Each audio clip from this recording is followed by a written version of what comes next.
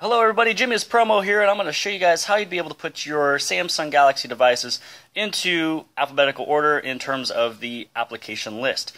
So originally when you first get your devices, you're going to notice that it's actually a custom grid to the point where it's just going to be putting the most recent application downloaded, you know, next on the list.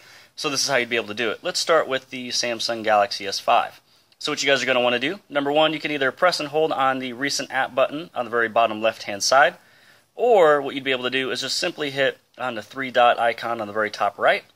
This is where you'd be able to go to View As, and then underneath here you can put alphabetical order. And so as you guys can tell, if I go all the way back to the very beginning, you guys will notice it starts with the numbers and then starting going from A, B, C, D, etc. Now let's say that we want to do that on over here on the Samsung Galaxy Note 3. So this is how you do it on the older devices right before the Samsung Galaxy S5 which is the only button down here, bottom left. Hit on the menu icon, head over to where it says View Type. You can go to Alphabetical Grid, and now you're actually in alphabetical order for you. Or you can actually even go into View Type, Alphabetical List. Here is your list, and let's say that you wanted to go to an application extremely quick. Hit on maybe, let's say, the letter G. Or you can actually even hit on the letter G, swipe over, and you're going to notice that you have several other secondary letters to find your application much quicker.